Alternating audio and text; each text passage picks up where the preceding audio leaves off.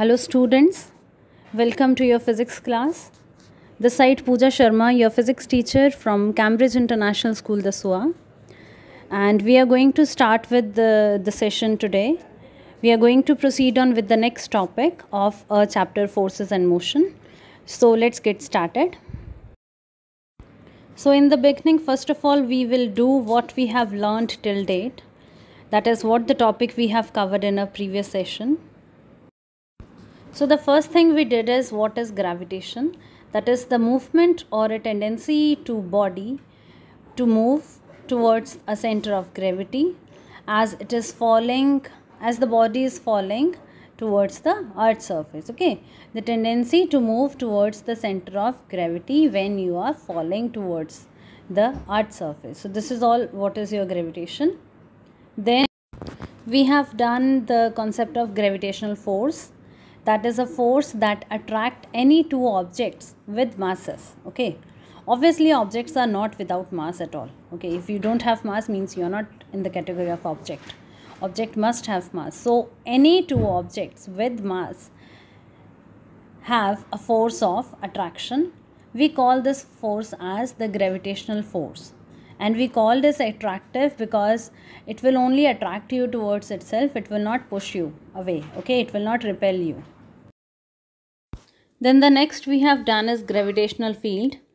Field means a region the space around the earth.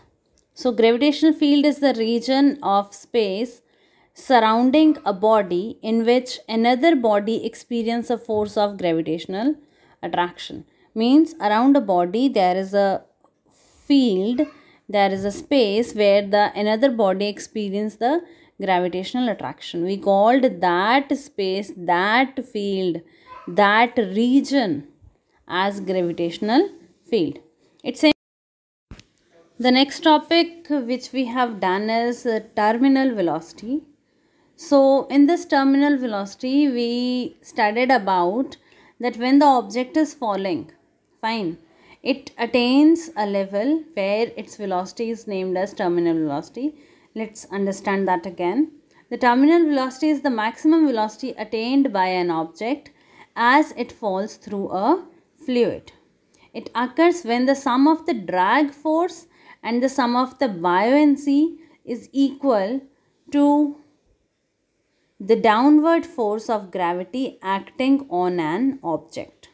Okay means when the drag force drag force is the down one and when the buoyancy buoyancy means the up one force they are going to be equal. Okay? That case the velocity will be terminal velocity. Now in this terminal velocity uh, we know that drag and the buoyancy are going to be equal. Fine. So there is net zero force. There is no force net force will be zero therefore the object in this case has zero acceleration. Okay? Then now children this is all about what we have done in the previous session. Now we are going to proceed on with the topic for today. That is force mass and acceleration. A bit idea you are having about it as we have done the topic motion in the previous uh, chapter where we have idea of what is acceleration what is mass and all. So we are going to carry forward and we are going to have a, a relation between the force the mass and the acceleration. So let's begin with the topic for today. Children, this is the clip from your uh, book. In this, they have begun with a very beautiful example where there is a driver driving the car and he feels the difference. Like when he is driving alone and the car is not filled with any material, it's totally empty, vacant. Fine. So, in that case, when he drives the car, he apply brake very easily. He accelerate the car very easily but when the car is loaded fully loaded you can say with passengers with students or with any boxes and all in that case when he accelerate or he deaccelerate he feel it's very difficult to do so so let's understand what is this example all about and we will definitely understand the relation between force, mass and acceleration. A car driver uses the accelerator paddle to control the car's acceleration. This alters the force provided by the engine. The bigger the force acting on the car, the bigger the acceleration it gives to the car. If we double the force, it produces twice the acceleration. Three times the force produces three times the acceleration and so on. Means from this paragraph we can understand that force and acceleration they are directly proportional to one another. If we increase the force, the acceleration will increase. If we increase the force two times, the acceleration will also increase, will also change by two times. Fine. If we increase the force by three times, the acceleration will also be increased by three times. Similarly, it will be uh, for decrease also. Fine. If you reduce the force, fine. The acceleration will also be reduced. That is what we say retardation. Then there is another factor that affect the car's acceleration. Now one thing they are saying that force and acceleration are directly fine. They depend upon one another. Second factor, let's see what's that. Suppose the driver fills the boot with a lot of heavy boxes and then collect several children from the college. He will notice that the difference when he moves away from the traffic lights. The car will not accelerate so rapidly because its mass has been increased now. Similarly, when he applies the brake, it will not deaccelerate as rapidly as before. It means that the mass of the car affects how easily it can be accelerated or deaccelerated. The driver learned to take account of all this. So, when we apply more force, we have more acceleration. 2 times 4, 2 time acceleration. 3 times 4, 3 time acceleration. Whereas mass and acceleration, they are opposite to one another. If you increase the mass, the acceleration will decrease. If you decrease the mass, the acceleration will increase.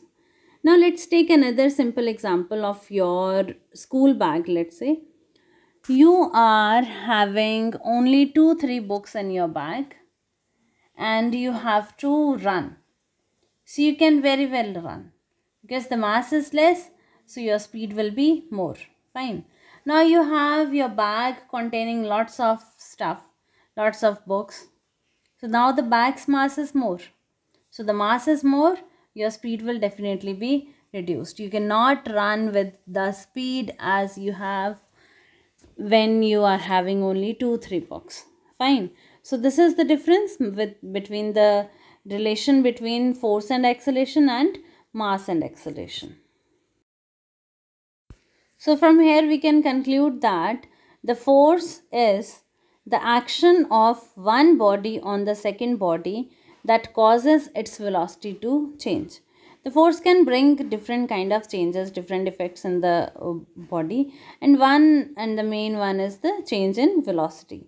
So the force is equal to mass multiplied by acceleration. Fine. And uh, mass is written by m. Acceleration is written by a. But the small ones. Okay. Small case you have to use. So F is equal to m a. F definitely force. So it's going to be capital. Fine. Capital F. Now we already know this, the unit of force is Newton. Now if it is asked that define 1 Newton or explain what is 1 Newton, so we use the formula force is equal to mass into acceleration to define it. So force is 1 Newton, that is 1 Newton is the force required to give a mass of 1 kg and acceleration of 1 meter per second square. What is force? Force means mass multiplied by acceleration. So when you have 1 kg mass and you are able to accelerate that 1 kg mass with 1 meter per second square. Fine. 1 kg mass accelerated by 1 meter per second square. It means the force which you have applied is 1 Newton. Children, these are the small, small clips from your book so that you can relate it with your topic and you can do it accordingly. So the next clip is a table where they have written the quantity, the symbol and the unit, the SI unit. Fine. So quantity, suppose we have force, its symbol is capital F and its unit is Newton. We write it with capital N. Fine. Then is mass, symbol small m and SI unit is kilogram. Acceleration, symbol small a, SI unit is meter per second squared. Fine. The three are related in the equation force is equal to mass into acceleration. Now children, this is about the topic for today. Uh, we have done the relation between force, mass and acceleration. Fine. We did two examples to elaborate it. You can have any example nearby you, around you. Like you have empty box. Fine Let's do a recap by using this example to understand this concept again. You have an empty box. You want to take that box from one position to another position. You want to shift the box. Okay. So because the box is empty, you apply a little bit force, you can do that. Fine. So if you apply 1 Newton force or if you apply some force, the object will move Fine. If you apply more force, the object will shift more. If you apply 3 times of your force, the object will shift 3 times. Means it accelerated accordingly. Fine.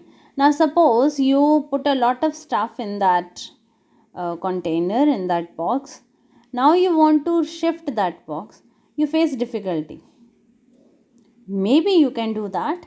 But the force which you have applied earlier onto the empty box if you are going to apply the same amount of force you are not able to shift the box. So you have to apply more force. Means you added the mass in the box your force will definitely increase. Fine. Now if you add a little more mass into it obviously you have to apply little more force. Fine.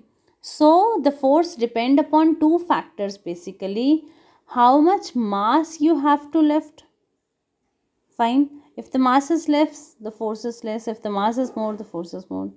Second is how much you have to accelerate. Fine. If you want to speed up the process you have to apply more force.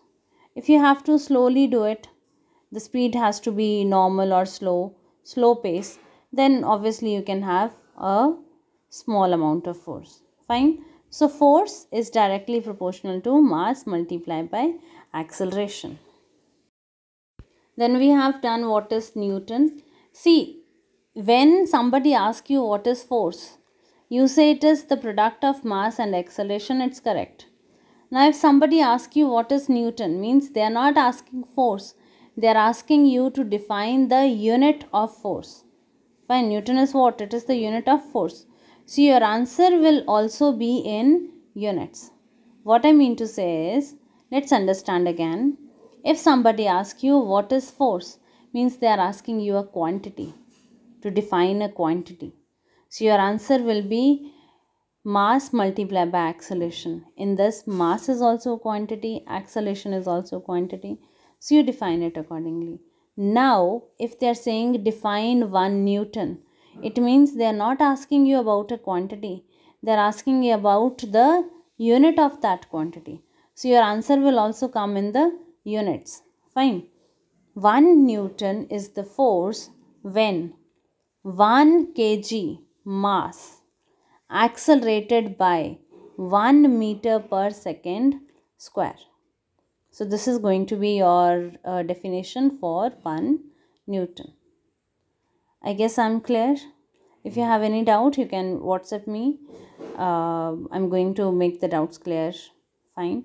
And uh, if you have understood, kindly click on the like button and show me the responses. Okay. So this is all for today. I'm going to end up the session over here. The next topic we have to begin up with is momentum I'm going to end up the session here, and the next session we are going to carry forward momentum all together because I want you to first have an idea of this and we take the momentum all together in the next session. Fine. So I hope you will read, revise, and pre learn, or you can say pre read the topic which I have told you that is momentum. Do that. If not, we are going to do it, not at all an issue, but uh, do some efforts from your end also. So, till then, uh, take care of yourself Thank you so much for listening, for hearing, for understanding. Uh, do practice from your end as well. Take care of yourself, your family, and stay safe, stay healthy. Children, these are not the sayings, but actually, we care for you. So, take care of yourself. Thank you. Bye bye.